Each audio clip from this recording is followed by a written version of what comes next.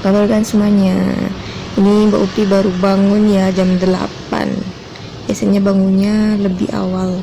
Tapi karena weekend itu biasanya capek banget Jadi bangunnya lebih telat ya. Biasanya kan aku kalau bangun langsung sarapan lah ya Cuci muka langsung sarapan ya Enggak kali ini enggak Karena ini udah siang mau jam 9 Udah panas banget jadi aku nyiram-nyiram kembang aja. Soalnya takut uh, bunganya itu layu karena cuacanya itu ekstrim banget ya hari ini pagi. Udah ekstrim.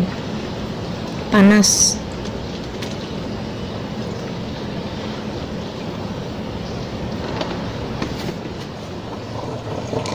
Nah terus aku langsung nuang air. Ini airnya langsung bisa diminum sebenarnya sih guys. Cuma aku mau nuang ke dispenser. Itu kan ada dua lubang itu Yang kecil sama yang besar dan ini juga banyak banget sisa-sisa sampah semalam itu. Uh, kayak bekas botol minuman apa gitu ya. Aku beresin aja pagi-pagi.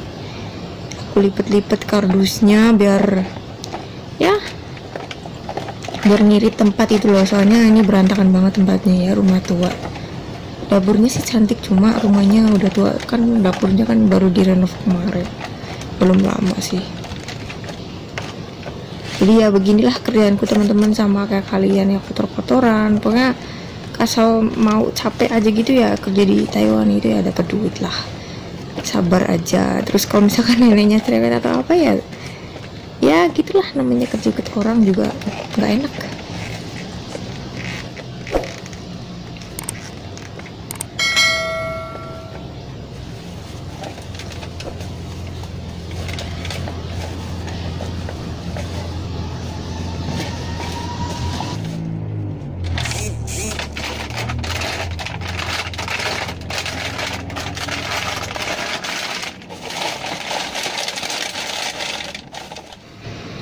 habis beres-beres aku langsung nyiapin sarapan buat aku sendiri ya. Nah habis sarapan aku langsung naik ke lantai 5 beres-beres lantai 5 ya karena semalam mereka itu kumpulnya di lantai 5 nyalain semuanya lampu karena biar terang ya pas bersih-bersihnya dan ini dispenser yang di atas juga mau diisi karena di rumah ini ada dua dispenser. Di atas bawah harus diisi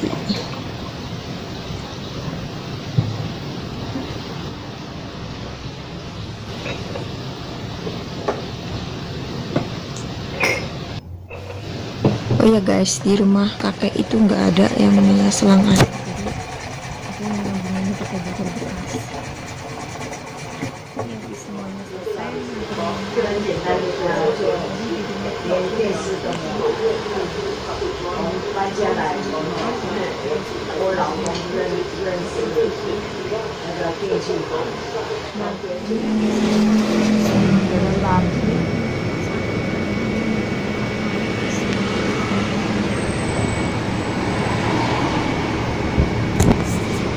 panas banget padahal hari ini.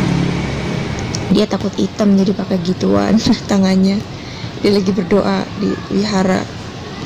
Gede banget di sini wiharanya teman-teman. Jadi wiharanya itu sebelahnya ada taman. Oh megah banget ya. Aku orang Islam tapi kalau lihat punya agama orang lain gitu ya aku happy gitu nggak tahu kenapa kayak ada sesuatu yang beda gitu loh. Uh itu mohon maaf ada orang yang buka-buka baju.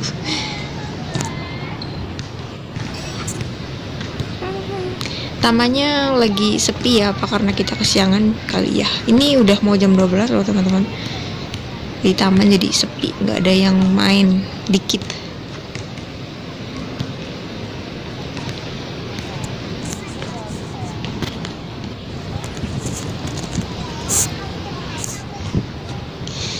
rindang banget guys. Ini di sini kalau di Indonesia itu kayak rumput ya. Kalau di sini tuh kayak bunga gitu. Eh di sini di Taiwan itu kalau masalah judi terus minum-minuman arak itu bebas banget guys. Jadi ya tetap ada polisinya biasanya sih biar takut mereka berantem. Nah pas pulang itu aku manasin sayur buat bukan sayur manasin bihun buat nenek sama kakek. Nah aku sendiri makan mie sama bisa sisa kemarin. Ya sayang kan kalau dibuang.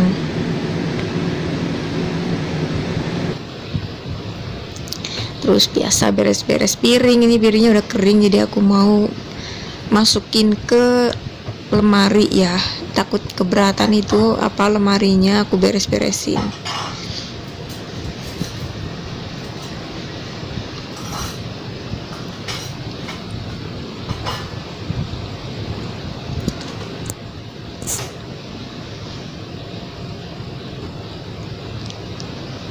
terus rapi banget. Rak piring aku ya. Nggak lemarinya. Terus karena hari ini hari minggu nggak ada uh, mobil sampah jadi aku kumpulin aja di rumah dulu. Besok hari senin baru ada mobil sampah. Dan biasanya jam segini itu jam 3 dan aku tuh minta keluar. Tapi dia minta tidur. Hujan guys di luar tadi pagi tuh panas banget tapi sorenya hujan. Ini aku tinggal di uh, Simbu ya. MRT deket MRT itu